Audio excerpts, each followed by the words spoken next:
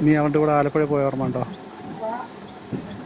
ഒരു വട്ടം പോയിട്ടുണ്ട്. ഞായറാഴ്ച നീ അവളുടെ കൂടെ ആയിരുന്നു ഏത്? ഇന്നലെ. ഇന്നലെ? ആ ഇന്നലെ നീ എവിടെ ആയിരുന്നു?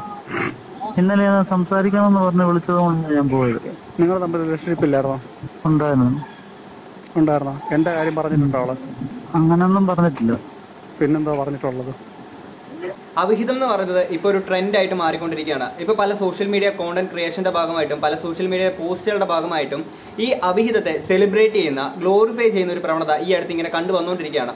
അപ്പം പത്തനംതിട്ടയ്ക്ക് അടുത്തുള്ള കോഴഞ്ചേരിയിൽ സിജി എന്ന് പറയുന്ന ഒരു യുവതി ഒരു ബൈക്ക് ആക്സിഡന്റിൽ മരണപ്പെടുകയുണ്ടായി. ആൻഡ് ഈ ഒരു മരണത്തിന് പിന്നിൽ ഒരുപാട് ദുരൂഹതകളും കാര്യങ്ങളൊക്കെ കിടപ്പുണ്ട്. ആൻഡ് ആ ഒരു ദുരൂഹതകളിൽ ഒന്ന് നമുക്ക് അങ്ങനെ ഒരു ദുരൂഹത സംശയിക്കാനുള്ള കാരണം എന്ന് വെച്ചാൽ ഈ ഇതേ അവിഹിതം തന്നെയാണ്. എന്തായാലും ഞാൻ ആ ഒരു ന്യൂസ് ഇവിടെ വെക്കുന്നുണ്ട്. ജനുവരി മാസം ഇരുപത്തിയൊന്നാം തീയതി രാത്രി ഏതാണ്ട് ഏഴരയ്ക്ക് ശേഷം സിജിയുടെ ഭർത്താവിന്റെ മാതാപിതാക്കൾ താമസിക്കുന്ന വീട്ടിൽ നിന്നും സിജി താമസിക്കുന്ന വീട്ടിലേക്ക് വരുമ്പോഴാണ് ഈ അപകടമെന്നാണ് പറയുന്നത്.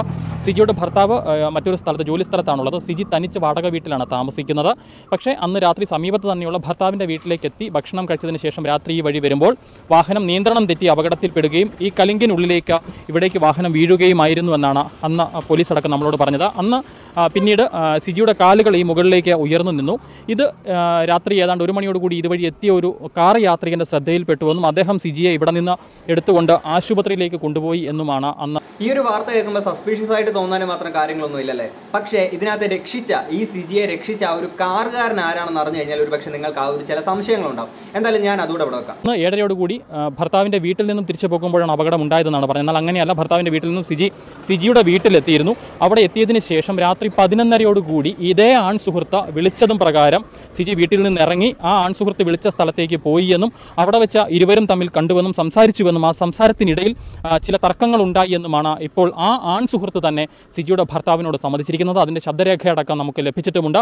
അങ്ങനെ കോഴഞ്ചേരിക്ക് സമീപത്ത് ഒരു സ്ഥലത്ത് വെച്ച സിജിയുടെ സിജിയും ആ ആൺസുഹൃത്തും തമ്മിൽ സംസാരിക്കുന്നതിൽ തർക്കമുണ്ടാകുന്നു. തർക്കത്തിന് പിന്നാലെ ആ ആൺ സുഹൃത്ത് പറഞ്ഞത് എന്തോ ഒരു കാര്യം. അത് ഇഷ്ടപ്പെടാതെ വന്നതോടുകൂടി സിജി ഇരുചക്ര വാഹനം എടുത്ത് വേഗതയിൽ ഓടിച്ച ഈ വഴി വരുമ്പോൾ ആ അപകടത്തിൽ പെട്ടു എന്നാണ് നിലവിൽ ആ ആൺസുഹൃത്ത് പറയുന്നത്. അദ്ദേഹം തൊട്ടു പിന്നാലെ ഇന്നോവ കാറിൽ പിന്തുടരുന്നുണ്ടായിരുന്നു എന്നും അദ്ദേഹം സമ്മതിച്ചിട്ടുണ്ട്. അദ്ദേഹം ഇപ്പൊ മനസ്സിലായല്ലോ രക്ഷിക്കാൻ വന്നിട്ടുണ്ടായിരുന്ന ആ ഒരു കാറുകാരൻ സിജിയുടെ ആൺസുഹൃത്ത് തന്നെയായിരുന്നു. അന്നേ ദിവസം ഇവർക്കിടയിൽ എന്തൊക്കെയോ തർക്കങ്ങളോ കാര്യങ്ങളൊക്കെ ഉണ്ടായിട്ട് സിജി പിണങ്ങി വണ്ടി എടുത്തുകൊണ്ട് പോവുകയായിരുന്നു. ആൻഡ് അതിന് പുറകെ ഇതേ ആൺസുഹൃത്ത് തന്റെ ഇന്നോവ എടുത്തിട്ട് പുറകെ പിന്തുടരുകയായിരുന്നു. അപ്പം സിജിക്ക് ആക്സിഡന്റ് പറ്റുന്നു. ഇത് ഈ ആൺസുഹൃത്ത് കാണുന്നു രക്ഷിക്കുന്നു. അതൊക്കെ നമുക്ക് വലിയ- വളരെ നോർമലൈസ് ചെയ്തുകൊണ്ട് വേണമെങ്കിൽ നമുക്ക് പറയാം. പക്ഷേ ഈ നോർമലൈസ് ചെയ്ത ഇതേ കാര്യം റിപ്പീറ്റഡ്ലി ഒന്നിലധികം തവണ സംഭവിച്ചു കഴിഞ്ഞാൽ എങ്ങനെ ഉണ്ടാവും? അത് എന്താണെന്നുള്ളത് സിജിയുടെ ഭർത്താവിന്റെ അമ്മ പറയുന്നുണ്ട്. ഞാൻ അതോടെ ഇവിടെ വെക്കാം. ഇയാൾ തന്നെയാണ് രക്ഷകനായിട്ട് എത്തിയതെന്ന് എന്നോട് രാവിലെ ഞാൻ പോലീസ് സ്റ്റേഷനിൽ പോകുന്ന സമയത്ത് എന്നോട് കോഴഞ്ചേരിയിൽ വെച്ച് എന്നോട് ഇങ്ങോട്ട് വന്നാൽ പറഞ്ഞു അമ്മേ ഞാനാണ് സിജി. എന്നെ മനസ്സിലായോ എന്ന് ചോദിച്ചു. ഞാൻ പറയുമ്പോൾ എനിക്ക് മനസ്സിലായില്ല. അപ്പോൾ പറഞ്ഞു ഞാനാണ് കഴിഞ്ഞ പ്രാവശ്യം അപകടം സംഭവിച്ചു സിജിയെ കൊണ്ടുവന്നത്. ഇതെന്താ സംഭവം എന്ന് വെച്ചാൽ സിജി മരണപ്പെട്ട ദിവസം ഉണ്ടായിട്ടുണ്ടായിരുന്ന ആ ഒരു ആക്സിഡന്റ് ഇല്ലേ? ഇതേപോലെ ഒരു ആക്സിഡന്റ് ഇതിന് മുമ്പും സംഭവിച്ചിട്ടുണ്ടായിരുന്നു. ആൻഡ് അന്നും രക്ഷിക്കാൻ വന്നിട്ടുള്ളത് ഇതേ ആൺ സുഹൃത്ത് തന്നെയായിരുന്നു. അതാണ് ഈ ഒരു ആൺ സുഹൃത്ത് സിജിയുടെ ആ, അമ്മയെടുത്ത് പറയുന്ന മുമ്പും ഞാൻ തന്നെയായിരുന്നു രക്ഷിക്കാൻ വന്നിട്ടുള്ളത് എന്നുള്ളത് നിങ്ങളൊന്ന് ആലോചിച്ച് നോക്കണം. ഒരേപോലെയുള്ള രണ്ട് ആക്സിഡന്റ് ആൻഡ് ഇവിടെ രക്ഷിക്കാൻ വന്നിട്ടുള്ളത് ദി സെയിം പേഴ്സൺ സിജിയുടെ ആൺ സുഹൃത്ത്. എന്തായാലും ഈ ഒരു മരണത്തെ നോർമലൈസ് ചെയ്ത് വെള്ളം തുടങ്ങാതെ വിഴുങ്ങാനെ കൊണ്ട് എനിക്ക് എന്തായാലും പറ്റത്തില്ല. ആൻഡ് ഇനിയും ഈ പറയുന്ന സിജിയുടെ ആൺ സുഹൃത്തും സിജിയുടെ ഭർത്താവും തമ്മിലുള്ള ഒരു കോൺവെർസേഷൻ ആ ഒരു കോൾ റെക്കോർഡിംഗ് ഇവിടെ ഞാൻ ഇവിടെ വെക്കാം. ഞാൻ വരുന്ന വഴിക്കാണ് ഇത് കാണുന്നത്. ഞാൻ ഉള്ള കാര്യമാണ് പറയുന്നത്. പറയരുത് എന്റെ എന്റെ ഫസ്റ്റ് ആക്സിഡന്റ് തൊട്ട് നീ ഉണ്ടായിരുന്നു ആക്സിഡന്റ് ഉണ്ടായിരുന്നു എനിക്ക് എത്ര മനസ്സിലാക്കാൻ ഞാൻ മനുഷ്യൻ മൃഗമല്ല ഞാൻ. എനിക്ക് മനസ്സിലാക്കാൻ എനിക്കറിയാം പറ്റും. എനിക്ക് മനസ്സിലാക്കാൻ പറ്റും. നീ അവളുടെ വീട്ടിൽ പോയത് ഞാൻ അറിഞ്ഞതാണ് നീ അവളുടെ വീട്ടിൽ പോയത് എല്ലാ കാര്യങ്ങളും ഞാൻ അറിഞ്ഞതാണ്. ഇത് ഇങ്ങനെ പോയി കഴിഞ്ഞാൽ സത്യം പറഞ്ഞു നിന്റെ കുടുംബം വരെ ഞാൻ ഇല്ലാതാക്കി കളയും. നീ കാണുന്നതല്ല ഞാൻ ഞാൻ സത്യം പറഞ്ഞു ഞാൻ ഇറങ്ങി കഴിഞ്ഞാണല്ലോ ഞാൻ ഇപ്പോഴും ഞാൻ ഇറങ്ങി കഴിഞ്ഞാണല്ലോ. നിന്റെ കുടുംബത്തോടെ ഇല്ലാതാക്കാൻ എനിക്ക് പറ്റും. അതായിട്ട് നീയായിട്ട് പറഞ്ഞായിരിക്കും ഏറ്റവും നല്ലത്. എന്താ സംഭവിച്ചെന്ന് മാത്രം എനിക്ക് അറിഞ്ഞാൽ മതി. ഇല്ലെങ്കിൽ അവളെ തെമ്മാടി കുഴിക്കാതെ അടക്കേണ്ടി വരും. അവൾ എന്നോട് സംസാരിക്കണം എന്ന് പറഞ്ഞു. ആ.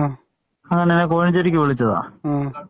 അപ്പൊ എന്തോ സംസാരിച്ച് തീർച്ചകളായിട്ട് പുള്ളിക്കാരി വണ്ടി എടുത്ത് സ്പീഡിൽ പോയതാ. അപ്പൊ ഞാനാണെങ്കിൽ പുറകെ ഉണ്ടായിരുന്നു അപ്പൊ പുറകെ ഉണ്ടായിരുന്നു കാണാതായപ്പോഴാണ് ഞാനിത് സ്ലോ ചെയ്തത്. സ്ലോ ചെയ്ത് നോക്കിയപ്പോഴാണ് ഇങ്ങനെ ഞാൻ കാണുന്നത്. അല്ലാതെ വേറൊന്നും സംഭവിച്ചില്ല. നീ അവന്റെ കൂടെ ആലപ്പുഴ പോയ ഓർമ്മ ഉണ്ടോ? ഒരു വട്ടം പോയിട്ടുണ്ട്. ഞായറാഴ്ച നീ അവളുടെ കൂടെ ആയിരുന്നു ഏത്? ഇന്നലെ. ഇന്നലെ ഇന്നലെ നീ എവിടെയായിരുന്നു? ഇന്നലെ ഞാൻ സംസാരിക്കണമെന്ന് പറഞ്ഞ് വിളിച്ചത് കൊണ്ടാണ് ഞാൻ പോയത്. നീ എവിടെ പോയത്? ഞാൻ കോഴഞ്ചേരിക്ക് എപ്പോഴാ പോയത്? സമയം ഓർമ്മ ഒരു പത്ത് മണിയായി കാണും പത്ത് ഒമ്പതരയൊക്കെ. നിങ്ങൾ തമ്മിൽ റിലേഷൻഷിപ്പ് ഇല്ലായിരുന്നോ? ഉണ്ടായിരുന്നു. ഉണ്ടായിരുന്നോ? എന്റെ കാര്യം പറഞ്ഞിട്ടുണ്ടോ അവൾ? അങ്ങനൊന്നും പറഞ്ഞിട്ടില്ല. പിന്നെന്താ പറഞ്ഞിട്ടുള്ളത്? വേറെ അങ്ങനൊന്നും പറഞ്ഞിട്ടില്ല. നിന്റേതാണോ അവൾ പൈസ മറിച്ചത്? ഏതാ? പൈസ നിന്റേതാണോ മേടിച്ചത്? എന്ത് പൈസ? നീയുമായിട്ട് എങ്ങനെയാണ് പരിചയപ്പെട്ടത്? അത്ര എനിക്ക് അറിഞ്ഞാൽ മതി. പൈസ ഒന്നും മേടിച്ചിട്ടില്ല ഞങ്ങളൊന്നും. നീ എങ്ങനെ പരിചയപ്പെട്ടത് മാത്രം പറഞ്ഞാൽ മതി. പൈസ ഇടപാടൊന്നുമില്ല നീ എങ്ങനെ പരിചയപ്പെട്ട അവളെ? ഞാൻ ഈ അക്ഷയ വഴി അക്ഷയ പോയപ്പോ കണ്ടിട്ടുണ്ട്. പിന്നെ ഇരന്തൂര് വെച്ചും കണ്ടിട്ടുണ്ട്. പിന്നെ അങ്ങനെ ഫോണൊക്കെ വിളിക്കായിരുന്നു അത്രേ ഉള്ളായിരുന്നു. അവൾ വിളിക്കുന്നുണ്ടായിരുന്നോ? ഇടയ്ക്ക് വിളിക്കുമായിരുന്നു എന്താ അവൾ പറയാനുള്ള ചുമ്മാ എന്തെങ്കിലും സംസാരിക്കാത്ര ഉള്ളൂ. നിങ്ങൾ റൂം എടുത്തിട്ടില്ല? ഏ അങ്ങനൊന്നും ചെയ്തിട്ടില്ല. ഒന്നും നടന്നിട്ടില്ല? ഇല്ല ഇല്ല അങ്ങനൊന്നും ചെയ്തിട്ടില്ല. അങ്ങനൊന്നും ചെയ്തിട്ടില്ല. ഞാൻ നിന്റെ കുടുംബത്തോട് വന്ന് കയറി നിനക്ക് നാണക്കേട് അങ്ങ് ഏറ്റവും ഞാൻ എന്താ ചെയ്യേണ്ടത് ഞാൻ എന്താ ചെയ്യേണ്ടത്? അത് പറ. ഞാൻ ഇപ്പൊ എന്താ ചെയ്യേണ്ടത് നീ മാത്രം പറഞ്ഞാൽ മതി. നിന്റെ വീട്ടിൽ വരണോ. നിന്റെ ബേസ് ഇപ്പൊ തന്നെ ഞാൻ സ്റ്റേഷനിൽ വിളിച്ചു പറയണോ. നീ പറഞ്ഞാൽ മതി. നീ ഫസ്റ്റ് ആക്സിഡന്റ് നീ വന്നപ്പോഴും സെക്കൻഡ് ആക്സിഡന്റ് നീ വന്നപ്പോഴേ എനിക്ക് നിന്നെ ഡൗട്ട് അടിച്ചതാ. പിന്നെ ഞാനത് മിണ്ടായിരുന്നറിയോ? നിന്റെ വായിൽ നിന്ന് ഇറങ്ങി കിട്ടാൻ വേണ്ടി മാത്രം. നീ അവളുടെ വീട്ടിൽ പോയത് കാര്യം ഞാൻ അറിഞ്ഞപ്പോ തന്നെ എനിക്കിടെ ഞാൻ പൊട്ടിച്ചത് തന്നെ. അപ്പൊ ഞാൻ ഇത് മുന്നോട്ട് അങ്ങോട്ട്